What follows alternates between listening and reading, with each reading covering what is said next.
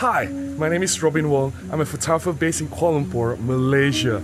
Currently, I'm at Kuala Lumpur Butterfly Park. It's been a while since I last came here.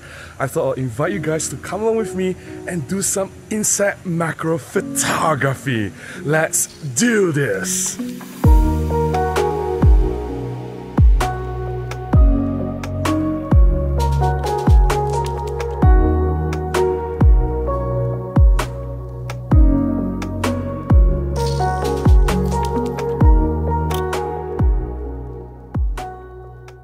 Originally, I have some Sunday plans with a few friends, but unfortunately, one of my friends got into close contact with a COVID positive patient, so she has to self isolate. The plan got cancelled, and suddenly my Sunday is free. I thought, I want to do something with my camera, and I haven't done insect macro photography in a while. So I thought of Butterfly Park. I haven't came here for a long time. It's time to revisit this place and do some insect macro.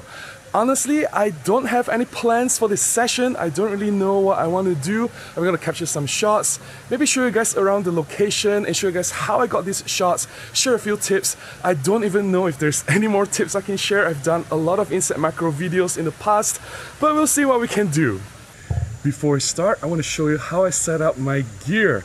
I have here the Olympus FL50R flash, which I'm gonna trigger wirelessly off camera I have the OMD EM1 Mark III with the 60mm f2.8 macro lens mounted on the camera already. And this is the FLLM3 flash, the mini flash that clips onto the camera to trigger the wireless flash off camera. And of course uh, we never fire the flash directly onto the subject. We always diffuse it with a softbox. So I'm gonna put everything together and we will do some inside macro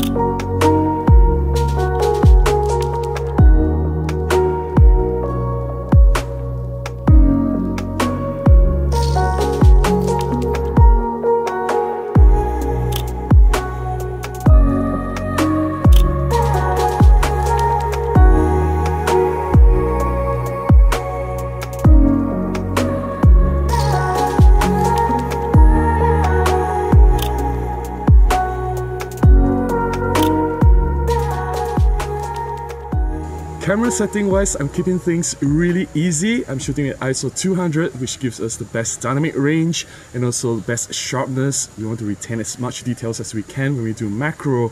And I'll go high magnification, go really close with the macro lens.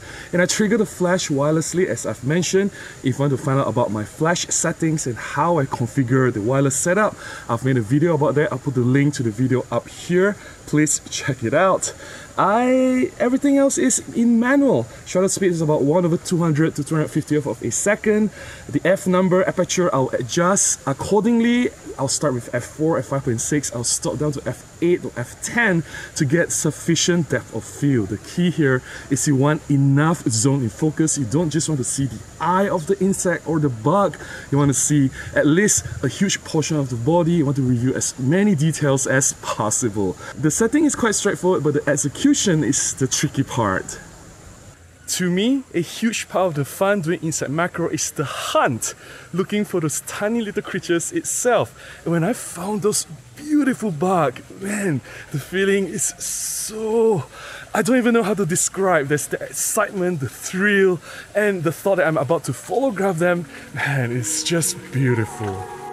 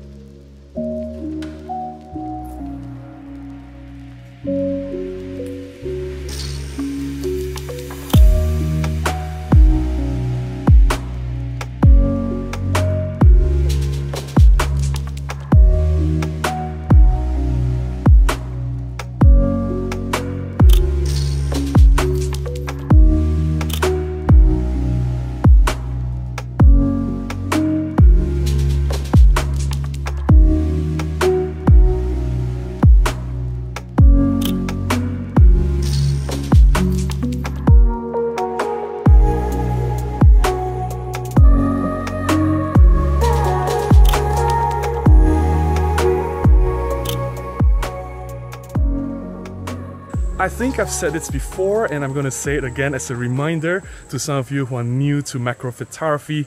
Please respect nature. Do not touch those little bugs. Do not abuse them. Don't relocate them from wherever they are. Shoot them on location as is, right? Do not touch them, don't do anything to them. They deserve a life. I think they don't need our intervention or whatever that we are doing to abuse them. Please be respectful all the time. Honestly, I don't think I have enough shots to make this video, but it doesn't matter. This is a short session and I have not done insect macro in a long while. So this has been really fun for me. Insect macro photography is not just something that I do because I love the tiny creatures, but it is my training ground. Insect macro is technically challenging. You need to make sure everything is in focus. Sometimes I have to do manual focus. I need to make sure I have enough depth of field. I need to control the aperture on the go. I need to watch the flash, make sure that my image is properly exposed. There's just so many variables and to hold the camera still, holding it with one hand, and another hand with flash, and there's just so many things happening at once. It is just the perfect place to keep my mind sharp whenever I'm not doing anything too serious. It is like an exercise. It is like, you know, swimming practice. It is like the training session for athletes before they actually go for tournaments or competitions. It is the same for me as a photographer. I have to keep shooting. It is not just, oh, I keep the camera at home in the dry box, I don't touch it, and whenever I have a job or something important, I just bring the camera out and shoot. No, I have to keep my mind sharp. I have to always be ready to shoot.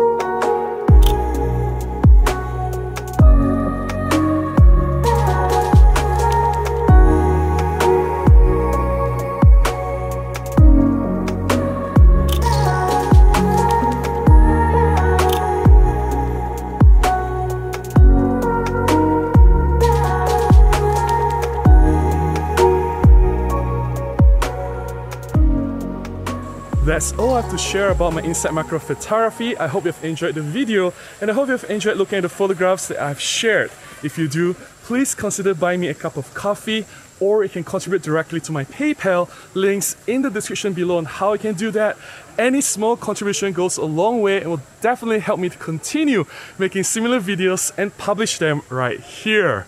Please give me a thumbs up, comment, subscribe, and share, and I'll definitely see you again in the next one. Until then, stay safe, take care. Please go out and take more photographs. Bye bye.